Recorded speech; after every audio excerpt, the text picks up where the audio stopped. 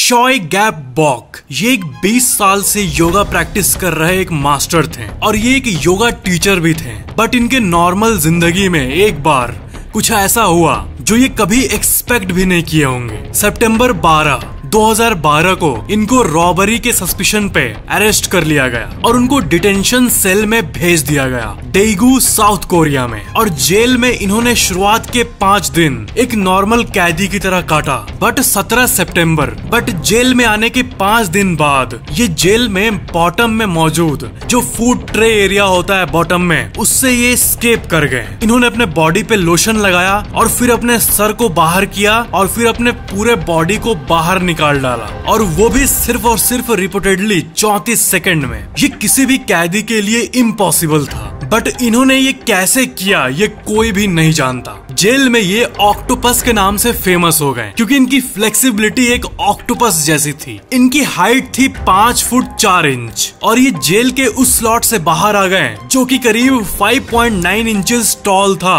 और 17.7 inches wide था। तीन ऑफिसर वहाँ ड्यूटी पे थे, बट तीनों सो रहे थे। और वो चुपके से जेल के बाहर भी आ गए। और उसके बाद जेल के एक नैरो विंडो से भी ये बाहर निकल गए। विंडो में ग्रिल था बट वो थोड़ा चौड़ा था। और ये अपने बॉडी को कैसे फ्लेक्सिबल बना के उस जेल से बाहर आ गए। जेल से बाहर आने के बाद ये एक नियर बाई रेसिडेंस पे गए और एक कार चोरी किया और गाड़ी की एक चाबी और क्रेडिट कार्ड को चोरी किया। फिर चोरी की खबर आते ही हर जगह जगह जगह पे पुलिस चेक पॉइंट्स स्टैब्लिश कर दिया गया।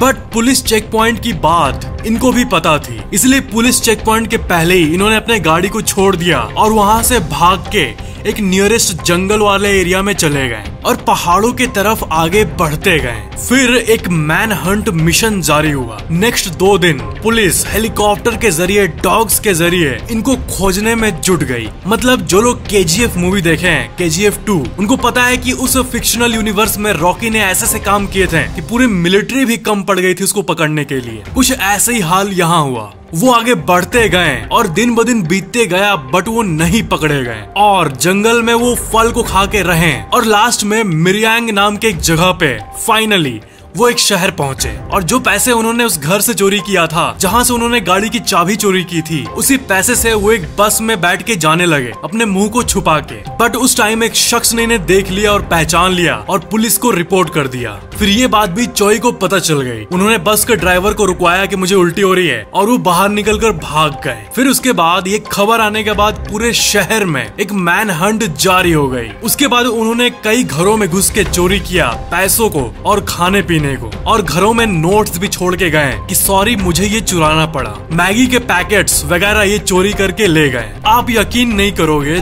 400 पुलिस ऑफिसर्स उनको खोजने में लग गए। और 400 पुलिस ऑफिसर्स साथ मिलकर पूरे शहर में इनको खोजने लगे।